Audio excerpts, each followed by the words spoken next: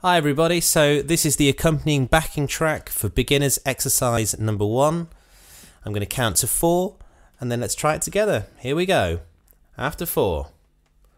And one, two, three, four. One, two, three, four. One, two, three, four. One, two,